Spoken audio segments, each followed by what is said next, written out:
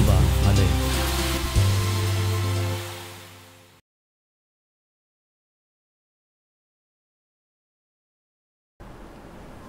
ಪ್ರಭು ನಿಮ್ಮೊಡನೆ ಇರಲಿ.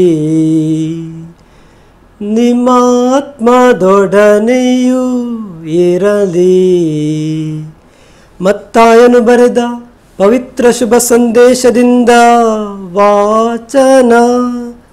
ಪ್ರಭುವೆ ನಿಮಗೆ ಮಹಿಮೆ ಸಲ್ಲಲಿ ಯೇಸು ಸ್ವಾಮಿ, ಫಿಲಿಪ್ಪನ ಸೆಜರಾಯ ಎಂಬ ಪ್ರಾಂತ್ಯಕ್ಕೆ ಬಂದರು. ಅಲ್ಲಿ ತಮ್ಮ ಶಿಷ್ಯರನ್ನು ಉದ್ದೇಶಿಸಿ, ನರಪುತ್ರನನ್ನು ಜನರು ಯಾರೆಂದು ಹೇಳುತ್ತಾರೆ ಎಂದು ಕೇಳಿದರು. ಅದಕ್ಕೆ ಶಿಷ್ಯರು, ಸ್ನಾನಿಕ ಯೌವಾನ ಎಂದು ಕೆಲವರು ಹೇಳುತ್ತಾರೆ, ಮತ್ತೆ ಕೆಲವರು ಎಲಿಯನು ಎನ್ನುತ್ತಾರೆ ಎರೆಮಿಯನು ಅಥವಾ ಪ್ರವಾದಿಗಳಲ್ಲಿ ತಾವೂ ಒಬ್ಬರು ಎಂಬುದು ಇನ್ನೂ ಕೆಲವರ ಅಭಿಪ್ರಾಯ ಎಂದು ಉತ್ತರ ಕೊಟ್ಟರು. ಆಗ ಯೇಸು, ಆದರೆ ನೀವು ನನ್ನನ್ನು ಯಾರೆನ್ನುತ್ತೀರಿ?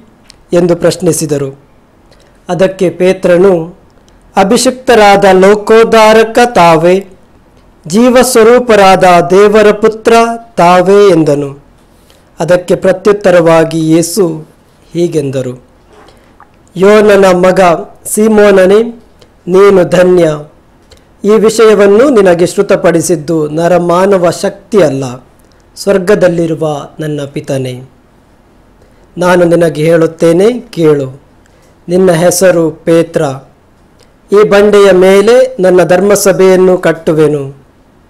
ಪಾತಾಳ ಲೋಕದ ಶಕ್ತಿಯು ಅದನ್ನು ಎಂದಿಗೂ ಜಯಿಸಲಾರದು. ಸ್ವರ್ಗ ಸಾಮ್ರಾಜ್ಯದ ಬೀಗದ ಕೈಗಳನ್ನು ನಿನಗೆ ಕೊಡುವೆನು. ಇಹದಲ್ಲಿ ನೀನು ಏನನ್ನು ಬಂಧಿಸುತ್ತೀಯೋ ಅದನ್ನು ಪರದಲ್ಲಿಯೂ ಬಂಧಿಸಲಾಗುವುದು. ಇಹದಲ್ಲಿ ನೀನು ಏನನ್ನು ಬಿಚ್ಚುತ್ತೀಯೋ ಅದನ್ನು ಪರದಲ್ಲಿಯೂ ಬಿಚ್ಚಲಾಗುವುದು. ಅನಂತರ ಯೇಸು ತಮ್ಮ ಶಿಷ್ಯರಿಗೆ, ತಾವು ಅಭಿಷಿಕ್ತರಾದ ಲೋಕೋದ್ಧಾರಕ ಎಂಬುದನ್ನು ಯಾರಿಗೂ ಹೇಳಕೂಡದೆಂದು ಕಟ್ಟಪ್ಪಣೆ ಮಾಡಿದರು. ಪ್ರಭುವಿನ ಶುಭ ಸಂದೇಶ ಕ್ರಿಸ್ತರೇ ನಿಮಗೆ ಮಹಿಮೆ ಸಲ್ಲಲಿ. ಜೀವ ಸ್ವರೂಪರಾದ ಪ್ರಭು ಯೇಸುವಿನಲ್ಲಿ ನಮ್ಮ ವಿಶ್ವಾಸ ದೇವ ಪ್ರೇರಿತವಾದುದು ಅಥವಾ ದೈವ ಪ್ರೇರಿತವಾದುದು ಪ್ರಭು ಯೇಸುವಿನ ಆತ್ಮೀಯ ಶಿಷ್ಯರೇ, ಇಂದು ಸಾಧಾರಣ ಕಾಲದ ಇಪ್ಪತ್ತೊಂದನೇ ಭಾನುವಾರವನ್ನು ನಾವು ಆಚರಿಸ್ತಾ ಇದ್ದೇವೆ. ಪ್ರಭು ಯೇಸುವಿನಲ್ಲಿ ನಮ್ಮ ವಿಶ್ವಾಸ ದೇವರ ಪ್ರೇರಣೆಯಿಂದಲೇ ಪ್ರೇರಿತವಾದುದು ಎಂದು ಸಂತ ಪೇತ್ರರ ವಿಶ್ವಾಸ ಪ್ರಕಟಣೆಯಲ್ಲಿ ನಾವು ಆಲಿಸಿದ್ದೆವು. ಹಾಗಿರುವಾಗ ನಮ್ಮ ಜೀವನವು ಪ್ರಭುವಿನಲ್ಲಿ ಆರಂಭಗೊಂಡು ಪ್ರಭುವಿನ ಮುಖಾಂತರ ಮುನ್ನಡೆಯುತ್ತಿದೆ. ಪ್ರತಿಯೊಂದು ದಿನದ ಕಾರ್ಯ ಕೆಲಸಗಳು ಪ್ರಭು ಯೇಸುವಿನ ಹೆಸರಿನಲ್ಲಿ ಆರಂಭಗೊಳ್ಳುತ್ತವೆ. ಹೌದು ಪ್ರೀತಿಯ ಯೇಸುವಿನ ಆತ್ಮೀಯ ಶಿಷ್ಯರೇ, ನಮ್ಮ ಈ ದಿನಗಳಲ್ಲಿ ನಮಗೆ ಪ್ರಭುವಿನಲ್ಲಿ ವಿಶ್ವಾಸ ಅಥವಾ ಪ್ರಭು ದೇವರೇ ನಮ್ಮ ಸ್ವತಃ ಯೇಸು ಸ್ವಾಮಿಯಾಗಿದ್ದು ಆ ದೈವ ಪ್ರೇರಣೆಯಿಂದ ಪಡೆದಂತಹ ಆ ವಿಶ್ವಾಸವನ್ನು ನಮ್ಮ ಜೀವನದಲ್ಲಿ ನಾವು ಅಳವಡಿಸಿಕೊಂಡು ಮುನ್ನಡೆಯಬೇಕೆಂದು ಪ್ರಭು ಯೇಸು ನಮ್ಮನ್ನು ಕರೆದಿದ್ದಾರೆ. ಇಂದಿನ ಮೂರು ವಾಚನಗಳನ್ನು ನಾವು ಆಲಿಸಿದಾಗ ಆ ವಾಚನಗಳನ್ನು ಸ್ವಲ್ಪ ಅವಲೋಕಿಸಿ ನೋಡಲು ನಾವು ಮುಂದಾಗೋಣ.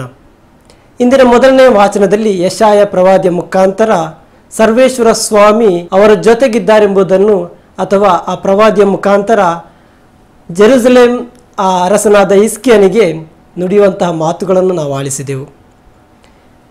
ಜೆರುಸಲೇಂ ನಾಡಿನ ಅರಸನಾದ ಇಸ್ಕಿಯನು ತನ್ನ ದೇಶಕ್ಕೆ ಅಸಿರಿಯ ರಾಜನಿಂದ ನಾಡನ್ನು ದಂಡೆತ್ತಿ ಬರುವಂಥ ಸಮಯದಲ್ಲಿ ಯಶಾಯ ಪ್ರವಾದಿಯ ಒಂದು ಸಹಾಯವನ್ನು ಕೇಳಲು ಮುಂದಾದರೆ ಆತನ ಸೇನಾ ನಾಯಕನಾದಂತಹ ಈಜಿಪ್ಟಿನವರ ಮೊರೆಯನ್ನು ಹೋಗಲು ಶಬ್ನನು ಯಶಾಯ ಪ್ರವಾದಿಯ ಮಾತನ್ನು ಕೇಳದೆ ತನ್ನ ಪಕ್ಕದ ಊರಿನ ಈಜಿಪ್ಟಿನ ದೇಶದ ಸಹಾಯವನ್ನು ಯಾಚಿಸಲು ಮುಂದಾಗುತ್ತಾರೆ.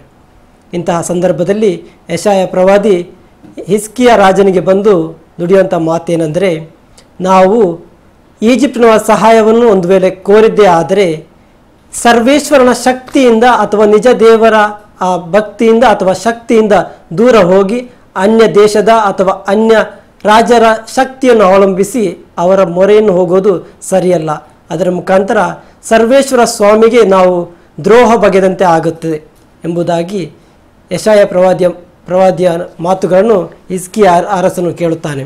ಇದರ ಮುಖಾಂತರ ಸರ್ವೇಶ್ವರ ಸ್ವಾಮಿ ಇಸ್ರೇಲ್ ರಾಜ, ಇಸ್ರೇಲ್ ನಾಡಿಗೆ ಸರ್ವಶಕ್ತ ದೇವರೆಂಬುದನ್ನು ಯಶಾಯ ಪ್ರವಾದಿಯ ಮುಖಾಂತರ ಮತ್ತೊಮ್ಮೆ ನಿಗದಿಪಡಿಸ್ತಾ ಇದ್ದಾರೆ. ಇದನ್ನೇ ನಾವು ಇಂದಿನ ಶುಭ ಸಂದೇಶದಲ್ಲಿ ಮತ್ತಾಯನ ಶುಭ ಸಂದೇಶ ಹದಿನಾರನೇ ಅಧ್ಯಾಯದಲ್ಲಿ ನಾವು ನೋಡಿದ್ದೇವೆ. ಪೇತ್ರನು ತನ್ನ ವಿಶ್ವಾಸವನ್ನು ಪ್ರಕಟಣೆ ಮಾಡುತ್ತಿರುವಂತಹ ಒಂದು ವಿಶೇಷ ಸಂದರ್ಭ. ಪ್ರಭು ಯೇಸು ಪೇತ್ರನಿಗೆ ಅಥವಾ ಯೇಸುವಿನ ಆ ಶಿಷ್ಯರಿಗೆ ಎರಡು ಪ್ರಶ್ನೆಗಳನ್ನು ಕೇಳ್ತಾ ಇದ್ದಾರೆ. ಅದರಲ್ಲಿ ಒಂದನೆಯದ್ದು ಸಾರ್ವತ್ರಿಕ ಪ್ರಶ್ನೆ ಅಥವಾ ಪಬ್ಲಿಕ್ ಕ್ವೆಶ್ಚನ್ ಎಂಬುದಾಗಿ ನಾವು ಹೇಳ್ಬೋದು ಮತ್ತು ಎರಡನೆಯದು ಇಂಡಿವಿಜುವಲ್ ಕ್ವೆಶನ್ ಅಥವಾ ವೈಯಕ್ತಿಕ ಪ್ರಶ್ನೆ. ಮೊದಲನೇ ಪ್ರಶ್ನೆ ನಮಗೆ ಗೊತ್ತಿದೆ ಎಂದು ನಾವು ಆಲಿಸಿದಾಗ ಶುಭ ಸಂದೇಶದಲ್ಲಿ ಪ್ರಭು ಯೇಸು ಕೇಳ್ತಾ ಇದ್ದಾರೆ. ಜನರು ನನ್ನನ್ನು ಏನೆನ್ನುತ್ತಾರೆ? ಪ್ರಭು ಯೇಸುವನ್ನು ಹತ್ತಿರದಿಂದ ನೋಡಿದವರು, ಪ್ರಭು ಯೇಸುವನ್ನು ಬಲ್ಲವರು, ಪ್ರಭು ಯೇಸುವಿನ ನುಡಿಗಳನ್ನು ಆಲಿಸಿದವರು, ಪ್ರಭು ಯೇಸುವನ್ನು ಯಾವ ರೀತಿಯಲ್ಲಿ ಅರ್ಥ ಮಾಡಿಕೊಂಡಿದ್ದಾರೆ ಎಂಬುದಾಗಿ ಪ್ರಭು ಯೇಸುಗೆ ತಿಳಿಯಬೇಕಾಗಿತ್ತು.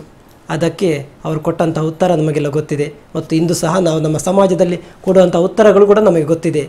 ಕೆಲವರು ಯೇಸುವನ್ನು ಒಬ್ಬ ಪ್ರವಾದಿಯಾಗಿ ನೋಡಿದರು. ಕೆಲವರು ಯೇಸುವನ್ನು ಪ್ರಬೋಧಕನಾಗಿ ನೋಡಿದರು. ಕೆಲವರು ಯೇಸು ಸ್ವಾಮಿಯನ್ನು ಪವಾಡಗಳನ್ನು ಮಾಡುವ ಶಕ್ತಿಯ ಒಬ್ಬ ರೂಪಕ ಅಥವಾ ವ್ಯಕ್ತಿಯಾಗಿ ಪರಿಗಣಿಸಿದರು. ಆದರೆ ಯೇಸುವಿಗೆ ಅದು ಯಾವುದೂ ಬೇಕಾಗಿರಲಿಲ್ಲ. ಬದಲಾಗಿ ಯೇಸು ಇಂಡಿವಿಜುವಲ್ ಆಗಿ ಅಥವಾ ವೈಯಕ್ತಿಕವಾಗಿ ತಮ್ಮ ಪ್ರೇಷಿತರಾದಂತಹ ತನ್ನ ತನ್ನ ಜೊತೆಗಿದ್ದಂತಹ ವ್ಯಕ್ತಿಗಳಿಗೆ ಅದೇ ಪ್ರಶ್ನೆಯನ್ನು ಕೇಳ್ತಾ ಇದ್ದಾರೆ. ನೀವು ನನ್ನನ್ನು ಏನೆನ್ನುತ್ತೀರಿ ಅಥವಾ ಯಾರೆನ್ನುತ್ತೀರಿ? ಎಂದಾಗ ಪೇತ್ರ, ದೇವರ ಪ್ರೇರಣೆಯಿಂದಲೇ ಯೇಸು ಸ್ವಾಮಿ ದೇವರ ಸ್ವರೂಪವಾದಂತಹ ಅಥವಾ ಜೀವ ಸ್ವರೂಪರಾದಂತಹ ದೇವರ ಪುತ್ರ ಎಂಬುದನ್ನು ಸ್ಪಷ್ಟವಾಗಿ ತನ್ನ ವಿಶ್ವಾಸವನ್ನು ಪ್ರಕಟಣೆ ಮಾಡಿದ್ದನು. ಹೌದು, ಆತ್ಮೀಯ ಪ್ರಭು ಯೇಸುವಿನ ಶಿಷ್ಯರೇ, ಪೇತ್ರನ ಆ ವಿಶ್ವಾಸದಲ್ಲಿ ನಾವೆಲ್ಲರೂ ಆ ಧರ್ಮಸಭೆಯನ್ನು ಕಟ್ಟಿದಂತಹ ಅಥವಾ ಧರ್ಮಸಭೆಯನ್ನು, ಧರ್ಮಸಭೆಯ ಸದಸ್ಯರಾಗುವಂತಹ ಆ ಒಂದು ವಿಶೇಷ ಗಳಿಗೆಯನ್ನು ಅನ್ನೋ ಸಂದರ್ಭವನ್ನು ನಾವು ಪಡೆದಿದ್ದೇವೆ. ಇಲ್ಲಿ ನಾವು ನೋಡಬೇಕಾದಂಥ ಇನ್ನೊಂದು ವಿಷಯ ಏನಂದರೆ, ಹಳೆಯ ಒಡಂಬಡಿಕೆಯಲ್ಲಿ ಸರ್ವೇಶ್ವರ ದೇವರನ್ನೇ ಪೊರೆ ಬಂಡೆಗೆ ಹೋಲಿಸಲಾಗಿದೆ. ಯಾಕೆಂದರೆ ಸರ್ವೇಶ್ವರ ಸ್ವಾಮಿ ಅಥವಾ ಸರ್ವೇಶ್ವರ ದೇವರು ಪೊರೆ ಬಂಡೆಯಾಗಿ ಇಸ್ರೇಲ್ ಪ್ರಜೆಗೆ ಅಥವಾ ದೇವರಲ್ಲಿ ವಿಶ್ವಾಸವಿಡುವಂಥ ಪ್ರತಿಯೊಬ್ಬರಿಗೆ ಆಶ್ರಯದಾತರು, ರಕ್ಷಕರಾಗಿದ್ದರು. ಇಲ್ಲಿ ನಾವು ನೋಡಿದ್ದೇವೆ ಯೇಸು ಕೂಡ ತನ್ನ ಮನದಾದ ವಿಶ್ವಾಸವನ್ನು ಪ್ರಕಟಿಸಿದ ಪೇತ್ರನಿಗೆ ನುಡಿಯುವಂತಹ ಮಾತು ನೀನು ಬಂಡೆಯಾಗಿರುವೆ ಎಂಬುದಾಗಿ. ಅಂದರೆ ಪೇತ್ರ ಕೂಡ ಆ ವಿಶ್ವಾಸ ಪ್ರಕಟಣೆಯ ಮುಖಾಂತರ ದೇವರ ಆ ಅನುಗ್ರಹದ ಶಕ್ತಿ ಅಥವಾ ದೇವರ ಪ್ರಸನ್ನತೆಯನ್ನು ತನ್ನಲ್ಲಿ ಅನುಭವಿಸಿ ಇತರರಿಗೆ ಹಂಚುವ ಕೆಲಸಕ್ಕೆ ಅಥವಾ ನೀಡುವ ಕೆಲಸಕ್ಕೆ ಮುಂದಾಗುವಂತಹ ಕರೆ. ಯೇಸುವಿನಲ್ಲಿ ಆ ಮನದಾಳದ ವಿಶ್ವಾಸವನ್ನು ಪ್ರಕಟಿಸಿದ ಪೇತ್ರನಿಗೆ ಪ್ರಭು ಸ್ವಾಮಿ, ಬಂಡೆ ಅಥವಾ ಫೊರೆ, ಬಂಡೆ ಅಂತಹ ಸರ್ವೇಶ್ವರ ಸ್ವಾಮಿಯನ್ನೇ ಹೋಲಿಸುವಂತಹ ಆ ಹೋಲಿಕೆಯನ್ನು ಮಾಡಿದರು. ಇದರ ಮುಖಾಂತರ ಪೇತ್ರ ಧರ್ಮಸಭೆಯನ್ನು ಆರಂಭಿಸುವ ಅಥವಾ ಕಟ್ಟುವಂತಹ ಮೊದಲ ಕೆಲಸಕ್ಕೆ ಪ್ರಭು ಯೇಸು ಆತನನ್ನು ನಿಯೋಜಿಸುತ್ತಾರೆ. ನಾವಿಲ್ಲಿ ನೋಡಬೇಕಾದಂತಹ ಎರಡನೇ ವಿಷಯ ಏನೆಂದರೆ, ನಾವು ಸಹ ಅದೇ ಪೇತ್ರನ ಪೇತ್ರನ ಅವಿಶ್ವಾಸದಲ್ಲಿ ವಿಶ್ವಾಸದಲ್ಲಿ ನಮ್ಮ ವಿಶ್ವಾಸವನ್ನು ಪಡೆದಿದ್ದೇವೆ.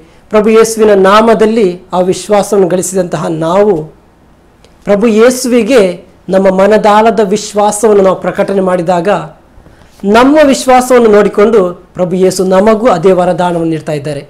ನಾವು ಕೂಡ ಪ್ರಭುವಿನ ಆ ಪ್ರಸನ್ನತೆಯನ್ನು ಅನುಭವಿಸಿ ನಮ್ಮ ಜೀವನದಲ್ಲಿ ಮಾತ್ರವಲ್ಲ, ನಮ್ಮ ಕುಟುಂಬದಲ್ಲೂ, ನಮ್ಮ ಅಕ್ಕಪಕ್ಕದಲ್ಲೂ, ನಮ್ಮ ಸಮಾಜದಲ್ಲೂ ಆ ದೃಢವಾದ ವಿಶ್ವಾಸದಲ್ಲಿ ನಿಲ್ಲುವಂತಹ ಯೋಗ್ಯತೆಯನ್ನು ಅಥವಾ ವರವನ್ನು ಪ್ರಭು ನಮಗೆ ದಯಪಾಲಿಸಿದ್ದಾರೆ.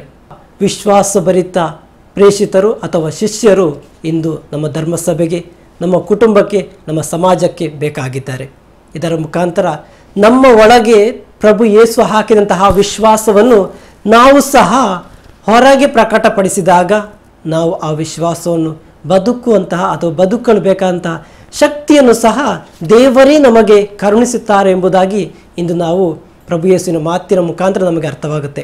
ಯಾಕೆಂದರೆ ಪೇತ್ರ ತನ್ನ ವಿಶ್ವಾಸವನ್ನು ಪ್ರಕಟಿಸಿದ ನಂತರ ತಕ್ಷಣವೇ ಪ್ರಭು ಯೇಸು ನುಡಿಯುತ್ತಿದ್ದಾರೆ, ಇದು ನಿನಗೆ ವ್ಯಕ್ತಪಡಿಸಿದ್ದು ಬೇರೆ ಯಾರೂ ಅಲ್ಲ, ನನ್ನ ಸ್ವರ್ಗದಲ್ಲಿರುವ ತಂದೆ ದೇವರು. ಅಂದರೆ ನಾವು ಮಾತಿನಲ್ಲಿ, ನಮ್ಮ ಬಾಯಿ ಮಾತಿನಲ್ಲಿ ನಮ್ಮ ವಿಶ್ವಾಸವನ್ನು ಪ್ರಕಟಣೆ ಮಾಡಲು ಅದಕ್ಕೆ ಬೇಕಾದಂಥ ಶಕ್ತಿಯನ್ನು ಸಹ ಅದೇ ಪ್ರಭು ಯೇಸು ನಮ್ಮೊಳಗೆ ಕರುಣಿಸ್ತಾರೆ. ಹಾಗಿರುವಾಗ ಆ ವಿಶ್ವಾಸದಲ್ಲಿ ನಾವು ಜೀವಿಸಲು ಅಥವಾ ಆ ವಿಶ್ವಾಸದಲ್ಲಿ ನಾವು ಮುನ್ನಡೆಯಲು ಬೇಕಾದಂಥ ವರಗಳನ್ನು, ವರಪ್ರಸಾದಗಳನ್ನು ಪ್ರಭು ನಮಗೆ ನೀಡುತ್ತಾರೆ. ಪ್ರಭುವಿನಲ್ಲಿ ನಮ್ಮ ವಿಶ್ವಾಸವನ್ನು, ಪ್ರಭುವಿನಲ್ಲಿ ನಮ್ಮ ಭರವಸೆ ನೀಡೋಣ. ಪ್ರಭು ಯೇಸು ನಮ್ಮ ಕೇವಲ ಒಬ್ಬ ಗೆಳೆಯನಾಗಿ, ಸ್ನೇಹಿತನಾಗಿ ಅಲ್ಲ, ಅದಕ್ಕಿಂತಲೂ ಮುಗಿಲಾಗಿ ನಮ್ಮ ಜೊತೆಗೆ ಜೀವಿಸುವಂತಹ ಜೀವಂತ ದೇವರಾಗಿದ್ದಾರೆ.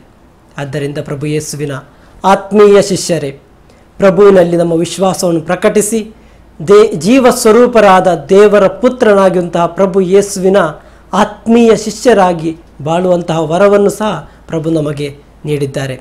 ಆದ್ದರಿಂದ ಕೊನೆಯದಾಗಿ, ಇಂದಿನ ಸಮಾಜಕ್ಕೆ, ಕುಟುಂಬಕ್ಕೆ ನಮ್ಮ ವಿಶ್ವಾಸಭರಿತ ಜವಾಬ್ದಾರಿ ಮಹತ್ವದ್ದಾಗಿದೆ. ಆದ್ದರಿಂದ ಪ್ರಾರ್ಥನಾ ಭರಿತ ಕುಟುಂಬಗಳು ವಿಶ್ವಾಸಭರಿತ ವ್ಯಕ್ತಿಗಳನ್ನು ಸೃಷ್ಟಿ ಮಾಡುತ್ತದೆ. ಜೀವವಾಕ್ಯವಾದ ಬೈಬಲ್ ವಾಚನ ವಿಶ್ವಾಸವನ್ನು ಪೋಷಿಸುತ್ತದೆ. ಹಾಗೂ ಸಮುದಾಯದ ಮುಖಾಂತರ ಜೀವ ಸ್ವರೂಪರಾದ ಯೇಸುವಿನ ವಿಶ್ವಾಸಭರಿತ ಶಿಷ್ಯರಾಗೋಣವೇ. ಪ್ರಾರ್ಥಿಸೋಣ. ಸರ್ವಶಕ್ತ ತಂದೆಯಾದ ದೇವರೇ ನೀವು ನಮ್ಮ ಜೊತೆಗಿದ್ದು ನಮ್ಮನ್ನು ಕಾದು ಸಂರಕ್ಷಿಸಿ ಮುನ್ನಡೆಸುವ ದೇವರಾಗಿದ್ದೀರಿ. ನಮ್ಮೆಲ್ಲ ಕೋರಿಕೆಗಳನ್ನು ನಿಮ್ಮ ಕರಗಳಿಗೆ ಸಮರ್ಪಿಸುತ್ತೇವೆ. ದೇವರೇ, ನಮ್ಮನ್ನು ಪ್ರತಿ ಹೆಜ್ಜೆಯಲ್ಲೂ ಕಾದು ಸಂರಕ್ಷಿಸಿ ಮುನ್ನಡೆಸಿರಿ. ನಿಮ್ಮ ಹೆಜ್ಜೆಯಲ್ಲಿ, ನಿಮ್ಮ ವಿಶ್ವಾಸದಲ್ಲಿ ಬಾಳುವಂತಹ ವರವನ್ನು ನಮಗೆ ದಯಪಾಲಿಸಿದ್ದಕ್ಕೆ ನಿಮಗೆ ವಂದನೆಗಳನ್ನು ಸಲ್ಲಿಸುವಾಗ, ಅನುದಿನದ ನಮ್ಮ ಜೀವನದಲ್ಲಿ ನಿಮ್ಮ ವರವನ್ನು, ನಿಮ್ಮ ವಿಶ್ವಾಸವನ್ನು ನಮ್ಮ ಜೀವನದಲ್ಲಿ ಅನುಭವಿಸಿ, ನಿಮ್ಮ ಪ್ರಸನ್ನತೆಯಲ್ಲಿ ಜೀವಿಸುವಂಥ ಶಕ್ತಿಯನ್ನು ವರವನ್ನು ನಮಗೆ ದಯಪಾಲಿಸಿ ಮುನ್ನಡೆಸಿದ್ದಕ್ಕಾಗಿ ನಿಮಗೆ ಕೃತಜ್ಞತೆಯನ್ನು ಸಲ್ಲಿಸುತ್ತೇವೆ. ನಮ್ಮ ಪ್ರತಿಯೊಂದು ಜೀವನದ ಕಷ್ಟ ನೋವುಗಳನ್ನು ಅರಿತ ಪ್ರಭುವೆ, ನಮ್ಮ ಈ ಅನುದಿನದ ಕೆಲಸ ಕಾರ್ಯಗಳನ್ನು ಹರಸಿ, ನಮ್ಮನ್ನು ಕಾದು ಸಂರಕ್ಷಿಸಿ, ಪ್ರತಿದಿನವೂ ನಿಮ್ಮ ಹೆಜ್ಜೆಯಲ್ಲಿ ಬಾಳುವಂಥ ಶಕ್ತಿಯನ್ನು ದಯಪಾಲಿಸಿ ಬೇ, ದಯಪಾಲಿಸಬೇಕೆಂದು ನಿಮ್ಮ ಪುತ್ರ ಪ್ರಭು ಕ್ರಿಸ್ತರ ಮುಖಾಂತರ ಪ್ರಾರ್ಥಿಸುತ್ತೇವೆ. ಆಮೇನ್. ಪ್ರಭು ನಿಮ್ಮೊಡನೆ ಇರಲಿ, ನಿಮ್ಮ ಆತ್ಮದೊಡನೆಯೂ ಇರಲಿ.